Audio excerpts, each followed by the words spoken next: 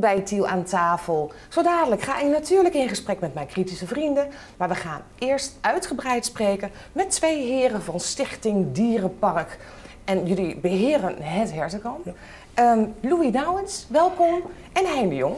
Dank je. Louis, jij bent nu op dit moment voorzitter van het hertenkamp. Ja. En het is natuurlijk een, een prachtig park midden in Tiel. Schitterend, Midden in Tiel, wie kent het niet. Maar hoe is dat ooit ontstaan?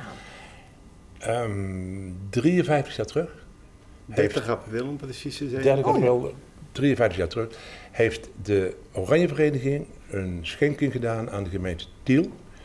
Een hertenkampje. En dat was op de, voor de kijk uit, Ja, bij de school die daar staat. En er is een grasveldje naast. Op dit moment een hondenuitlaatplekje. Maar dat was toen het plekje waar het dierenpark begonnen is. en dat was een heel klein parkje. Dat was een klein parkje. Daar liepen wat hertjes. En, eh, ja, god, we hebben nu veel meer dieren, maar toen was het heel klein. Dat is later verhuisd naar de Nieuwe Tilse Weg.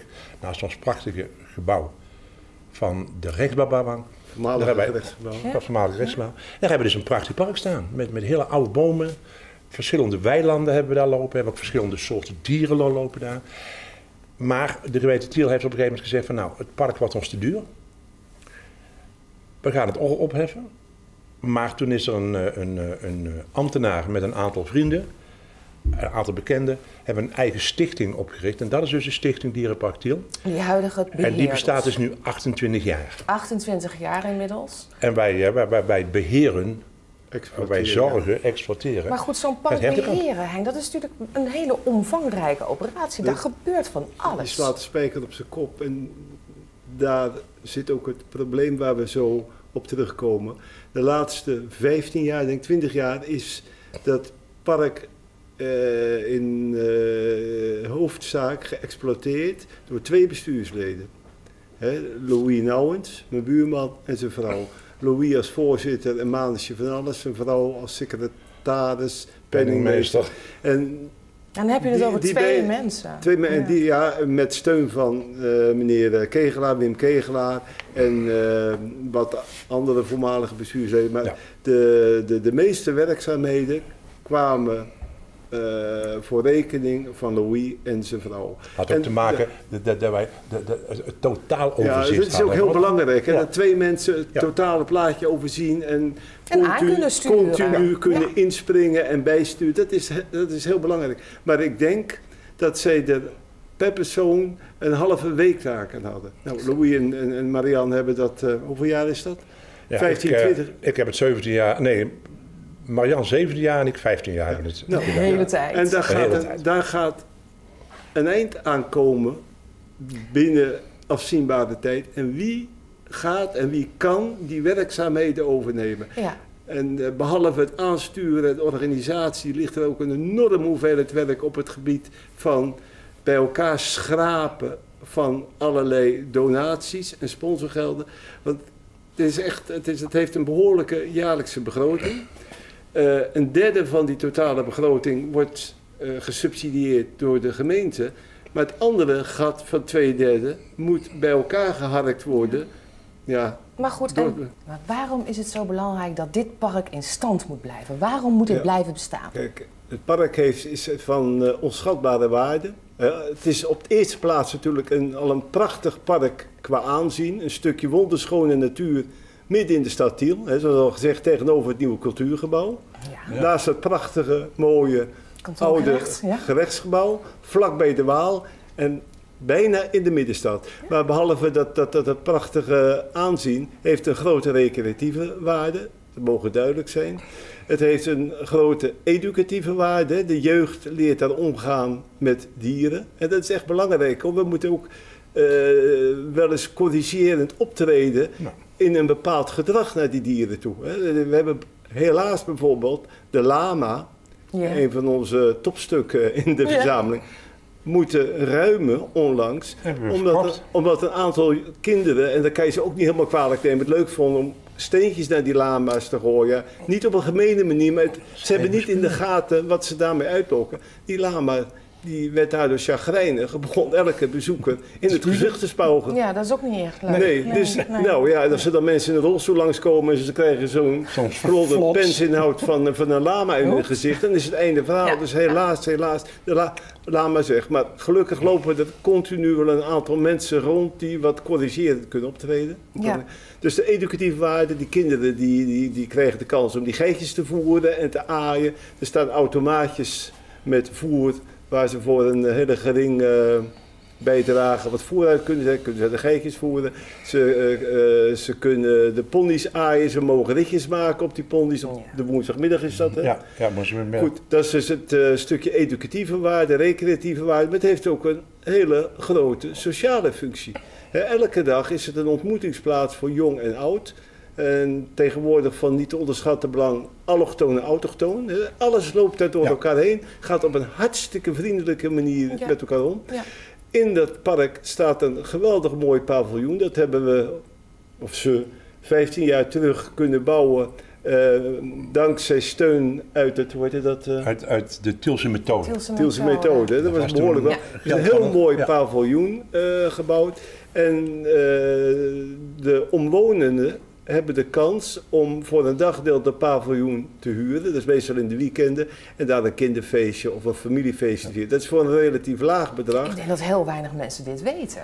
Ja, dat is het. Vandaar ook dat we hier nu Ja. zitten. Veel te, ve- veel te weinig mensen zijn op de hoogte van eh Nou, de alle mogelijk. Maar, maar de Monte reclame gaat hard. Ja, dat is heel heel goed. vaak dat is heel dat goed. Maar er eh, gebeurt nog veel meer in dat park. Oh ja, we hebben er veel, veel meer. Ja. Er wordt we hebben bijvoorbeeld georganiseerd. straks, eh, dan hebben we eerst de paasmanifestatie. Dan kon, kon- worden de deuren dicht gedaan aan de voor- en achterkant. Daar staan kinderen te wachten tot de deuren open gaan. Want overal in het park liggen eieren. Oh, goed, leuk. Er wordt een run op plastic zakken hebben ze bij, voldoen en naar mo- mo- moeder brengen. Dan is er in het paviljoen hebben we eh, eh, 120 eieren zijn ze nu aan het koken. we hebben hardgekookte eieren. We hebben, we hebben allerlei eh, dopjes, eh eierdopdoppen. We hebben schilders, materiaal. Kinderen kunnen hun paasei gaan schilderen. Onder begeleiding van soms ouders, maar ook Ja. vaak de vrijwilligers die, die daar aanwezig zijn. Ze kunnen tekeningen maken. En Ja. dit, is, dit is nu alleen Pasen, maar het Ja, gaat het hele nou, jaar is, door. Dit is een, een zogenaamde schaapscheerdersdag. Dan worden de schapen geschoren. Dat is natuurlijk ook eh, heel erg interessant voor de omwonenden. Er is eh, de eh, Sinterklaasfeest Sinterklaas, wordt uitgebreid gevierd. Eh, ja, wat hebben we nog meer? Van alles. Ja, de- regelmatig zijn er activiteiten. We Ja. hebben nu ook een, een, een vrijwilliger gevonden die wil wat educatieve programma's gaan maken. Om met name kinderen een bepaald project te laten doen. We hebben de ruimte. Alleen je moet vrijwilligers hebben om dat te kunnen Ja. doen. Ja, daar, daar Dat moeten we het- natuurlijk ook even verhaal. over hebben. Die vrijwilligers zijn van onschatbare Ja, die waarde. zijn van onschatbare waarde. Hebben jullie nu, hoe, hoe wordt het nu bemand? Hoe wordt het nu geregeld? In Nou, we, hebben, we hebben een aantal met mensen die dus de, de, de, de, De de, de, de organisatie doen. Ja, dat is de bovenlaag. Het, het park moet op tijd op slot gedaan worden. S'nachts is het dicht. We willen niet hebben dat er s'nachts mensen door het Nee. park heen eh, lopen. Het weekend, wat ik net, net, net, moeten de beesten ook gevoerd worden. Ja. Dus hebben we daar mensen voor die in het weekend voeren. Ehm waar hebben we nog meer vrijwilligers? Dan loopt er een, een vrijwilliger rond die allerlei klussen doet. Die is er iedere dinsdag Ja. om 9 uur en gaat om 5 uur naar huis. Maar die doet klussen van het- de jongens helpen, onze de- cliënten helpen met de stal uitmesten. Maar gaat ook spijkertjes eh, in, in de muur slaan of een- Dat dat nodig iets repareren. Ja. Manager van alles. Ja, en zo, zo eh, bij, vorig, bij- jaar, vorig jaar hebben we bijvoorbeeld z'n allen een heel stuk aan de schuur gebouwd. Er staat zo'n Oh, grote ja. schuur en er moest een, hoe moet ik dat noemen, een een soort ja, een soort serre-achtig gedeelte moest aangebouwd worden van 4 meter. Ook om de. eh, oh, dat, ben ik, dat ga ik eventjes vermelden tussendoor. Het park geeft ook de mogelijkheid om eh, aan mensen met een beperking, meestal een verstandelijke beperking, maar ook wel een lichamelijke beperking, eh, de, de mogelijkheid om daar een dagbesteding te hebben. En daardoor lopen er eh, een, elke dag een 8 tot 10 cliënten van Serenlo. Wel eens gehoord van Serenlo? Dat is een grote zorggroep. Ja. En kinderen van de Kambier van Notenschool. Het vertelt tegenwoordig voor de Kambierschool. Kambier van Noordschool is voor het Kambierschool. Oh, Dus Kambierschool. dat- Dat nieuwe gebouw op de, die nieuwe Tulsweg. Ja. Ja, brede zorgschool. De, de brede zorgschool. Ja. En, die- en die komen werkervaringsplaatsen opdoen. Maar de andere cliënten die hebben dus hun eigen taak. Ja. En die hebben een taak naar niveau. Hè? De Ja. ene die breekt de hele dag brood. Bakken van ooien krijgen we i- i- i- iedere dag oud brood. Dat wordt gebroken door iemand. Maar er is ook iemand die, die, die, die verzorgt het hele water gebeuren. Iedere dag oud water weg, vers water bij. Ja. Dan moet hooi. En in zo'n park als dit, dit moet iedere dag weer gebeuren. 24 uur. Ja. Dat gaat, Sorry. het gaat Ja. zeven dagen van de week, gaat altijd door. week. Altijd door. Hebben jullie daar genoeg mensen voor? Nou, maar nou, komen, we- nou komen we bij het heikele punt. Ja. Er moet ook, kijk, wij hebben een zogenaamde beheerder.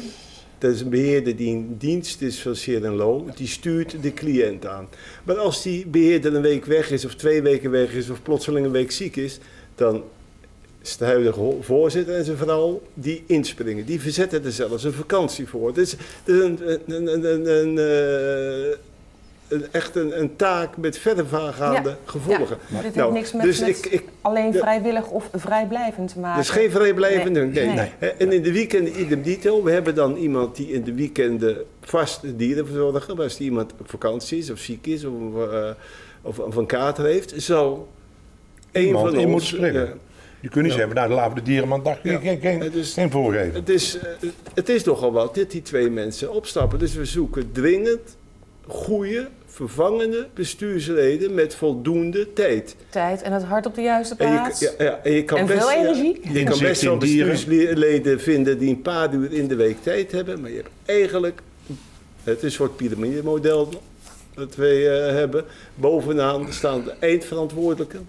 Ja, die één of twee mensen moeten er liefst 20 uur in de week tijd voor hebben. Om altijd maar in te springen, bij te sturen. Maar goed, ik, ik, ik, dat, tenminste, dat kan ik me zo voorstellen. Ik, als je dat doet, dan heb je ook wel iets heel moois in handen. Kijk, dan ben je ook je- heel erg betrokken bij al die vreugde. En, en Als ik nou wo- woensdag eh, op een bankje ga, ga zitten en ik zie die eh 80, 90 kinderen naar binnen rennen. Die, die gaan overal in het hele park eieren zoeken. Dat, dat, dat, daar zitten kindertjes van drie, vier jaar met een, een kwastje een ei te schilderen. ja, dan word je toch blij van? Daar word je blij van. Ja, natuurlijk word je er blij van. Ja. Maar als ik eh, ja, in het weekend en het sneeuwt en onze begeleider is ziek en moet ik s- s ochtends om 8 uur naar het dierenpark op zondagochtend om te gaan voor niks wat van. Ja, dan is het wel pittig. Nou, we hebben het 17 jaar gedaan en we hebben nu gezegd van vanaf 1 jan- januari volgend jaar stoppen we ermee. Ja. Want als we dat niet doen, dan blijft het door. Ja, logisch. En een keer moet je een lijn trekken. En een een keer lijn nieuw bloed. En dat is ook Is ook zo. prima. En dan kun je nog honderdduizend keer daar naartoe om lekker te kijken. Oh jawel, Hè? jawel. Hoe het jawel. allemaal is.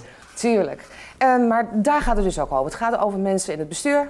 Ja, En wellicht ook nog een club Maar mensen die er gaat vrijwilligerswerk die, vrijwilligers. eh, Er gaat nu een brief uit binnenkort naar de gemeenteraad. En dat wilde ik nog eventjes aanstippen. Eh, ik denk, of wij denken, dat als we het bestuur, dus de hele organisatie op een juiste manier willen laten functioneren, dat er dan absoluut wat meer financiële steun van de gemeente eh, binnen moet komen. zijn, Want, ja. zoals- het gaat bijna niet. Hè. Het, eh, zoals ik je al zei, twee derde van de begroting moet worden eh, bij elkaar geharkt. En Ja. het, Ja, dat is een het, zware het lukt ons niet goed meer. Nee. Zien. Eh, eh, we zitten nu voor een dringende renovatie van het buitenhekwerk. Een dringende renovatie Van de van de, vloer. van de vloer in, de, in ons paviljoen. in het paviljoen. Eh, zo zijn er nog een aantal zaken. En dan praat je over eh, die bedragen van honderden euro's. En dan praat je over bedragen van duizenden Ja, euro's. dat is, Dus dat is Kijk, een, Ja. een, een nieuwe vloer, daar, we hebben daar een begroting voor gemaakt, praat je bijna 10.000 euro. ja, dat is geld. Dat is geld en dat geld is gewoon keihard nodig. Ja. Ja, En dat dan denk, ik, dan denk ik wel eens, ik weet niet of ik dat mag zeggen. Ja, jongens, als wij weggaan met onze dieren uit het park, hè, als het Stichting Dierenpark zou ophouden te bestaan, wij gaan weg met het dierenpark, dan blijft het gemeente met een leeg park zitten. En dan zal dat, denk ik, aan onderhoud door hoveniers meer, Meer ko- kosten. meer kosten dan ze Dit nu momenteel, allemaal weet ik laten zeker, hoor, draaien. aan subsidie uitkeren naar ons toe. Nou, dat is een goed En- verhaal, toch? Naar de gemeente toe? Nou, dat, die, die het. brieven zijn nu onderweg. En we hopen dat daar eh eerdaags een, eh, een eh, vergadering over komt. Ja. Dan willen we ook nog even spreektijd hebben, hebben geloof ik, hè, om toe te lichten van.